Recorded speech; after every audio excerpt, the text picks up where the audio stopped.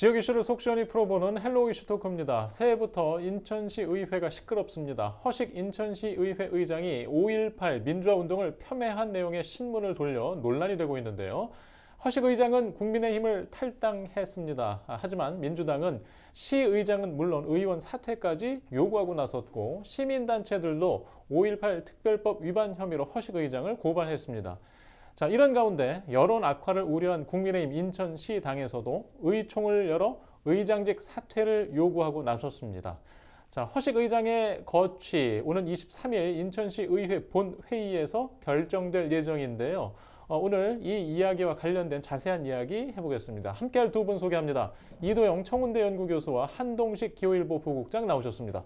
안녕하십니까? 네, 안녕하세요. 예, 에, 지난 한 주간 또 갑자기 어, 인천의 이슈의 중심에 섰던 이야기인데 에, 주말 사이에 어, 국민의힘 어, 인천시당의 의총도 있었고 자 오늘 월요일 저희가 녹화하고 있는데요. 아, 국장님 지금 5.18 폄훼 왜곡 신문 네. 이 내용을 돌렸던 배경부터 우리가 좀 알 필요가 있는데요. 아, 이 참 배경을 따져보면요. 저희가 상, 그 생각해보면 일단은 어, 그냥 보기에는 지난번 아마 이 서울의 봄, 이 영화가 영향을 많이 끼치지 않았을까 이렇게 보여집니다. 어, 박정희 대통령 사망 후 어, 민주화 열기를 말살한 12.12그 구테타 성공 과정을 그린 서울의 봄이 어, 천만을 넘어선 이후에요. 아, 그, 이 구구 쪽에 계신 분들, 이 보수 구구 쪽에 계신 분들이 이 부분에 좀 많이 이제 역사 왜곡이다 이런 부분 좀 많이 얘기했던 것 같은데요. 어, 지난 2일이었죠. 허식 의장이 의원 40명 의원실에 어, 신문을 배포했는데요. 이 신문 배포 내용 아주 어마어마합니다. 어, 저도 기자 생활 30년 가까이 됐는데 이렇게 40년에 걸쳐서 5.18 민주화 운동을 폄훼한 그런 신문 제가 처음 봤는데요. 어, 신문 내용을 보더라도 5.18은 DJ와 북세력이 주도한 내란이라거나 이 가짜가 판치는 5.18 유공자 광주의 진실을 묻다. 뭐 이런 내용인데요. 어, 이그 배경 이런 배경을 보면은 기본적으로 허식 의장이 갖고 있는 어떤 세계관 이런 세계관의 반영이 아닐까 이렇게 보여집니다. 예. 지금 이제 이게 이제 중앙당까지도 영향을 미쳐서 어 지금 뭐 한동훈 비대위원장을 통해서 어 조치를 급히 하는 일도 있었고요. 결국에는 지금 의장이 탈당을 했어요. 예. 근데 탈당한 뒤에도 이 이야기가 가라지 않고 있습니다. 아, 지금 인천시에서 이 논란 식지 않는 이유를 어떻게 지금 우리가 봐야 될까요? 뭐 여러 가지 이유가 있을 수가 있는데요. 가장 큰 이유는 5.18 아, 민주화 운동에 대한 국민 정서에 반하는 어, 행위를 했음에도 불구하고 허 의장이 뭐 그다른 불이익, 어, 뭐 징계 같은 조치를 받지 않았다는 점입니다.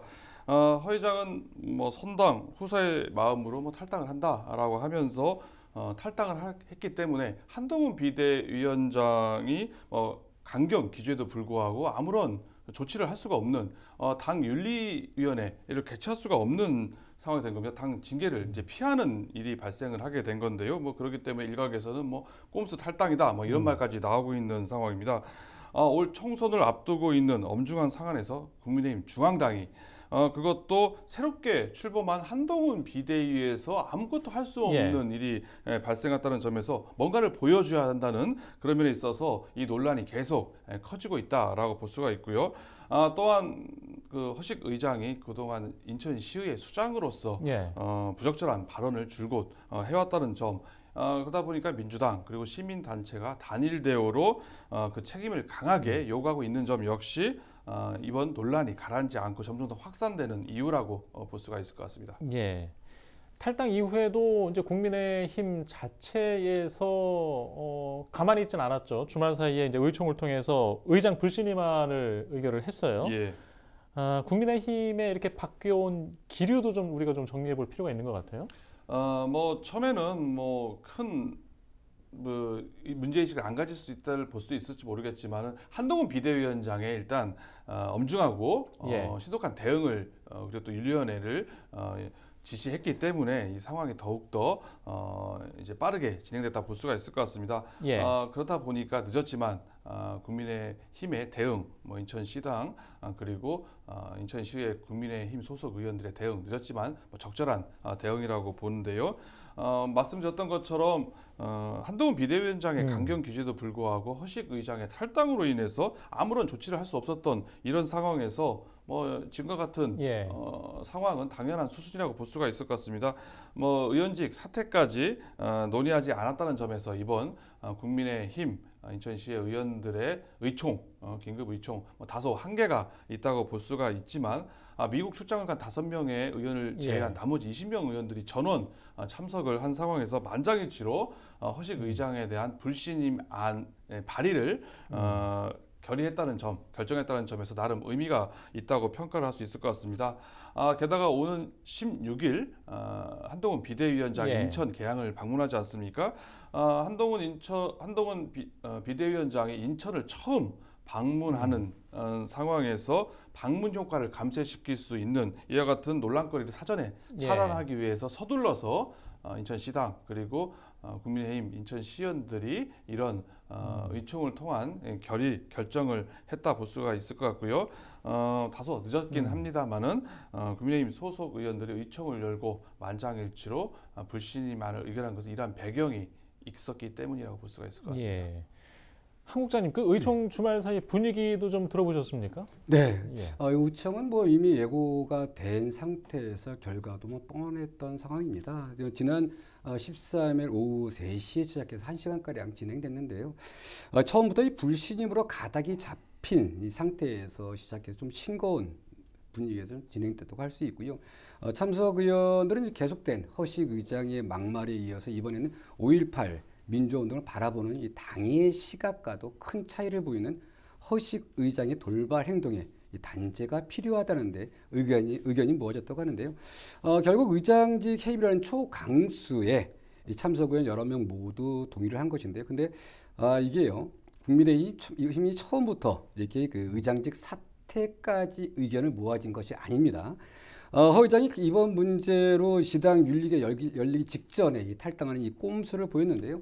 시의 내부에서는 젊은 의원들 중심으로 어떤 어, 문제에 이번 문제에 대해서 조치를 취해야 되지 않냐 이런 의견이 있었는데 아, 실제로 대부분의 의원들은 허 의장의 뜻을 존중해야 한다. 이런 식의 기류가 있었습니다.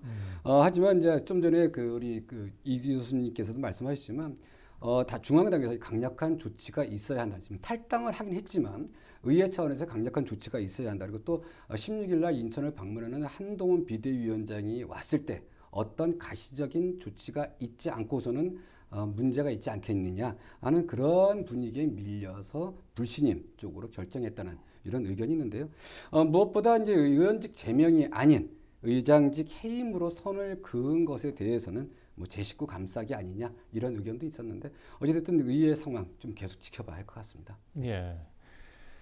교수님 지금 이제 예. 정당 내부의 기류들은 설명하고 있고 시민단체들도 허위장 5.18 특별법 위반으로 고발을 했어요. 예. 이게 보니까 기존에 있는 내용도 좀 포함한 내용 같았는데 좀 들려주시죠. 어, 인천 지역의 시민 단체들이 어, 5.18 특별법 위반의 혐의로 허식 의장을 좀 고발한 예. 상황입니다. 앞서 국장님 말씀하신 것처럼 뭐 가짜가 판치는 5.18 유공자라든지 5.18 민주화 운동이 어, 뭐 북한이라든지 아니면은 DJ의 이제 민중 봉기를 음. 조작한 대남 공작이라든지 사실 말도 안 되는 이런 예. 어, 사실관계를 왜곡하는 5.18을 폄훼하는 이유로 지금 고발을 당한 상황인데요. 어, 실제로 5.18 특별법에서 허위 사실을 유포했을 경우에는 5년 이- 이하의 징역 내지는 5천만 원 이하의 예. 벌금을 어, 선고하게 돼 있다는 점에 있어서 어, 뭐 재판 결과를 뭐 지켜봐야 되겠습니다만은 상당히 어, 이5.18 특별법 위반의 혐의가 있는 상황이라고 볼 수 있는 어, 지적이 있고요. 아, 게다가 허위장애 막말 논란 하루 이틀 예. 얘기가 아닙니다. 아, 뭐 경찰 나부랭이라고 하면서 경찰을 뭐 비하를 하거나 예. 또 인천 교육계에서 공산주의 교육을 하고 있다라든지 어, 또 미출구에 있는 아이들이 욕을 입에 달고 살아서 미출구는 아이들이 살 곳이 못 된다라든지 일반 상식선에서 벗어나는 이런 어, 막말을 해왔다는 점 역시 어, 이런 것들이 함께 이제 의장의 이제 품위 의무 위반이라든지 이런 것과 함께 논란거리가 되면서 어, 이번에 시민 단체가 음. 어, 5.18 특별법 위반 혐의로 어, 고발을 했다 이렇게 볼 수가 있습니다. 예. 지금 잠깐 앞에 이야기한 중에 저희가 이제 조치가 처음에는 어, 국힘이 좀 소극적이었다가 적극적으로 바뀐 모습을 설명했잖아요. 그 중간은 그- 그 이유가 어떤 것 때문이었을까요? 아, 지금 그 여러 가지 좀 이유는 있을 건데요. 일단은 지금 그 결국은 의원들 내에 뭐 제식구 감싸기 이런 예. 부분이 좀 가장 컸을 것 같은데 좀 저도 좀 이- 이번 과정을 쭉 취재하고 상황을 지켜보는 과정에서 좀 느꼈던 거는 의회가 제 기능을 못 하고 있다. 어, 허 의장이 계속된 그 임기 초부터 어, 막말이 좀 계속 나왔을 때 의회 차원에서의 어떤 조치가 취해졌다면 이런 상태까지 사태까지 발전하지 않았을 것이다. 아, 특히 이제 의회는요. 아, 윤리특위라는 게 있습니다. 이게 지금 4대인가 음. 5대 때 아마 구성된 거로 알고 있는데 아, 저희가 지금 이 부분을 의회에다가 물어봤을 때 그동안에 단 한 번도 의원들에 대한 징계가 없었다고 합니다. 아마 어, 허의장 이번 23일 열리는 임시회에서 윤리특위 이 구성을 의회에서 제안한다고 하는데 아, 이번에 만약에 허 의장에 대한 징계가 되면 최초의 징계가 될 거로 보여지는데요. 어, 이 지금 이번 사태, 이번 사태 그 의원들 스스로도 좀 반성을 좀 많이 해야 한다. 뭐 단순히 윤리특위 이런 부분이 아니라 의원들 내에서도 이 부분이 분명히 처음부터 짚고 넘어갔다고 하면은 어, 이렇게까지 발전하지 않았을 텐데 이건 국민의힘뿐 아니라 민주당 의원들조차도 어, 상황을 그 지켜봤다 이런 문제 때문에 결국 이렇게 사태를 키웠고 전국적인 개망신을 당하는 그런 사태까지 왔다. 예. 예. 아, 예. 말, 알겠습니다. 지금 일단 이 저희가 15일 오후 기준으로 좀 녹화를 하고 있는데 현재까지 허식 의장의 입장 변화는 나와 있습니까? 네, 현재까지 입장 변화 없습니다. 어, 지난 13일 의회에서 불신임 결정이 나왔는데도요. 저희도 좀 계속 상황을 지켜보고 다양한 방안 방면으로 어, 허 의장의 의사 표명이 있을 것이라 생각하고 이렇게 파악하고 있는데요. 공식 입장 내놓지 않고 있는데 어, 상황이 이렇게 온 만큼 어떤 입장이라도 좀 내놔야 되지 않느냐 하는 게 대부분의 의견인데요. 어, 이- 여기서 의사 표명은 뭐 자진 사퇴가 될 겁니다. 이게 좀 예. 23일 날 어, 이게 본회의에서 불신임이 의결된다고 한다면요. 어, 이게 단순하게 의장직 사퇴에서 그치지 않고 본인 스스로 상당히 불명예를 좀 안게 되는 건데요. 이게 지금 그 사전에 의, 자진 사퇴가 아닌 뭐 이번에 어, 국민의힘 의총에서도 자진 사퇴를 먼저 권고하지 않았습니까? 자진 사퇴가 아니고 이게 그 23일 어, 불신임 안이 강제적으로 처리된다고 했을 때는요. 어, 아마 이게 그 불신임에서 그치지 않고 의원직 사퇴가 의원직 제명까지 가지 않겠느냐 이렇게 좀 이렇게 좀 어, 전망도 되고 있습니다. 근데 어, 지금 이제 뭐 다들 많은 분들이 좀 우려스러워하는 부분들 어, 이그 꼼수 탈당까지 한 상황이지만 여전히 본인은 잘못이 없다. 이렇게 좀 그 생각하는 것 같습니다. 그래서 어, 이번 그 상황들 이 그 허식 의장이 먼저 정리하는 그런 부분이 좀 필요하지 않을까 예. 지금 의장직 사퇴 자진 사퇴 가능성에 대해서는 어떻게 보세요? 뭐 저는 의장직 자진 사퇴 가능성이 앞서서 우선은 어, 본회의에서 해임안이 의결되느냐가 일단 가장 먼저 뭐 말씀하신 것처럼 변수라고 볼 수가 있습니다. 지금 인천시의 의석수가 좀 40석이거든요. 예. 어, 무소속 허식 의장을 제외하고 나면은 이제 민주당이 아, 14석, 국민의힘이 25석 어, 인 상황인데요. 이게 재적 의원 과반수의 찬성을 넘게 되면 즉 21명 이상의 찬성을 받게 예. 되면은 이제 해임안이 아, 불신임안이 의결이 되게 됩니다. 지금 국민의힘에서 지금 만장일치로 어, 불신임안 발의를 어, 결정한 상황이기 때문에 어, 뭐 본회의 통과는 거의 기정사실이라고 볼 수밖에 예. 없는 상황입니다. 어, 이런 상황에서 허 의장이 무소속으로 그리고 인천시를 대표하는 수장으로서 어, 의회를 이끌어가는 것 사실상 지금 거의 음. 불가능한 상황이라고 어려운 상황이라고 볼 수가 있기 때문에 이제 과연 음. 허식 의장이 어, 자신 사퇴를 하느냐의 가능성 문제로 어, 예. 기결이 됩니다. 하지만 허 의장의 자진 사퇴 가능성 저는 조금 부정적으로 예. 어, 보고 있는데요. 먼저 탈당의 변에서 자신의 잘못은 없지만 음. 아, 선당 우사의 마음으로 탈당을 한다라고 자기 잘못 없다라고 일단 예. 본인이 어, 명백하게 밝힌 상황이고요. 또 일부 보수 단체와 일부 당원들이 어, 허 의장을 지지하면서 사퇴를 만료하고 있는 어, 분위기도 일부 있는 상황입니다.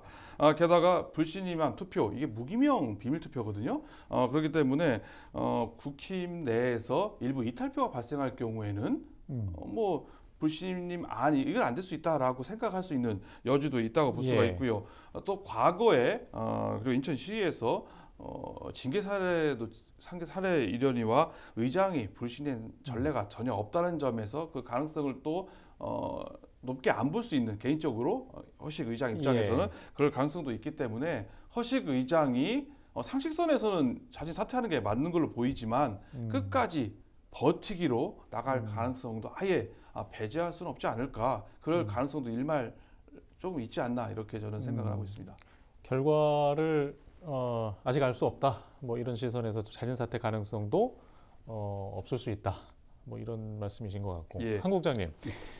아까 이제 돌아가서 의원직 사퇴 움직임까지 옮겨갈 수 있다. 네. 물론 이제 민주당과 시민단체에서는 얘기하고 있는데 더 확대될 수 있습니까?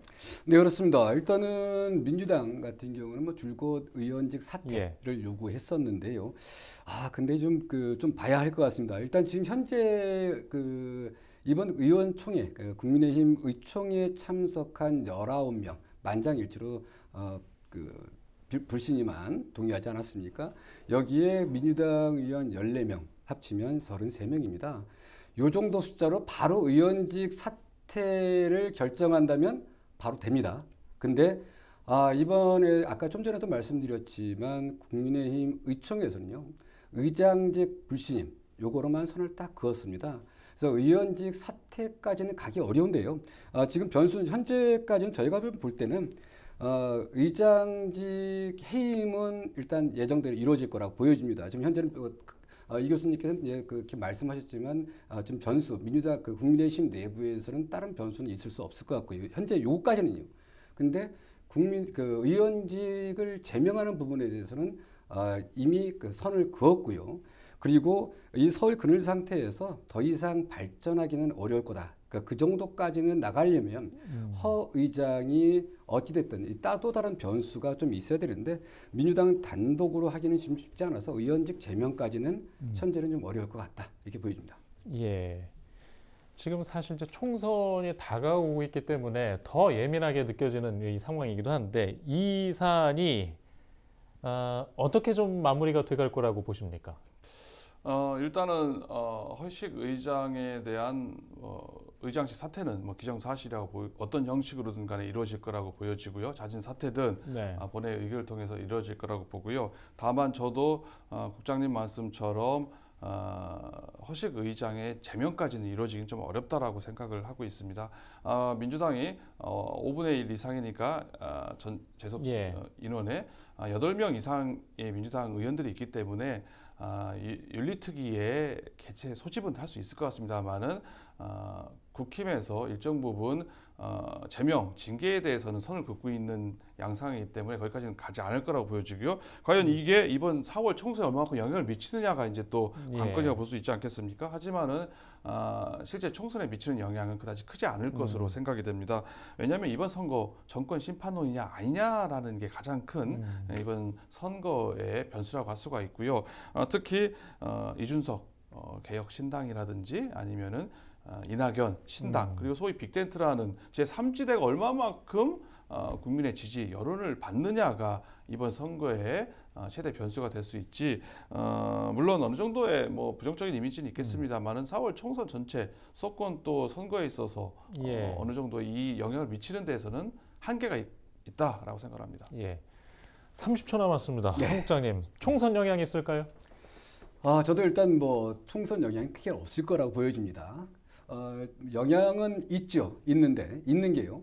어, 민주당 입장에서는 이번 총선 어, 뭐 많은 의석을 차지하려고 했고요. 총력을 기울일 수밖에 없는데 어, 이번에 어떻든 뭐 막말 이거 가지고 또 얘기를 할 수 있겠지만 선거에는 크게 영향을 미치지 않을 것이다. 일부 영향을 미칠 수 있겠지만 어, 그 국민의힘의 이런 프레임을 씌우기는 상당히 쉽지 않습니까? 뭐 또 그렇게 그, 그동안 이미지도 뭐 이렇게 좀 이쁜 이미지도 아니었었고요. 근데 어, 그거에 그것이 큰 영향은 미치지 않을 것이다. 예. 음, 알겠습니다. 예, 오늘 순서는 여기까지 좀 질문을 드려야 될 것 같고요. 어, 이후 전개된 소식은 뉴스를 통해서 저희가 좀 전해드리도록 하겠습니다. 총선이 다가오고 있습니다. 아, 선거와 관련된 윤과 더 자세한 내용과 함께 두 분 다시 모시고 말씀 나누겠습니다. 이슈토크 여기서 마치겠습니다. 시청해주신 여러분 고맙습니다.